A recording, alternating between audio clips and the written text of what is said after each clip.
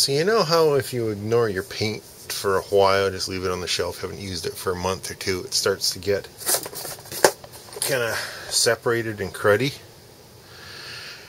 Well, this is what happens when you leave it for 10 years. The upside is it didn't leak or, or, or completely dry up. The downside is it's completely separated. So, this is one solution, but this gets tiring in a big hurry, especially when you've got a lot of paint. That and that and that and a bunch more in another box. This is just never gonna go. I have to find a better way. Introducing a better way. So here's a. So here we go.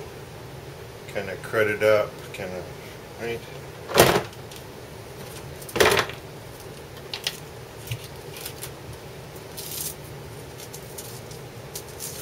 This is just Velcro like you use for bundling cables. IT guys like them, audiovisual guys like them.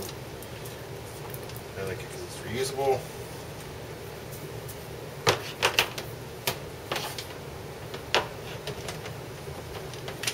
Contact.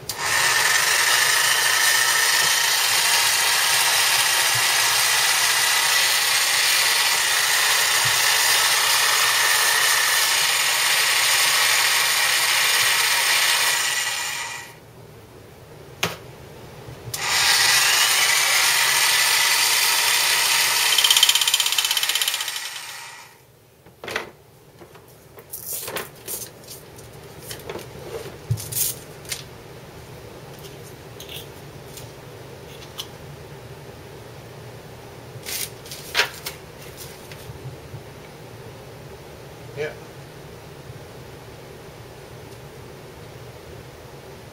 Much better. That I can use.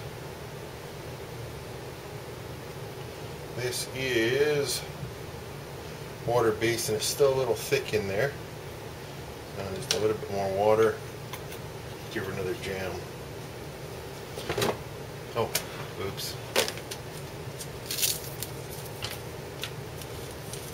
but this is so much easier, so much quicker than the for hours and hours. So if I wanted to make that motion for hours and hours, I have much more entertaining ways of doing it.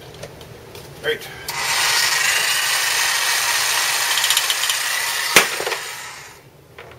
Oops. Okay, so it's not a perfect method, but it's still a lot better than doing this for hours.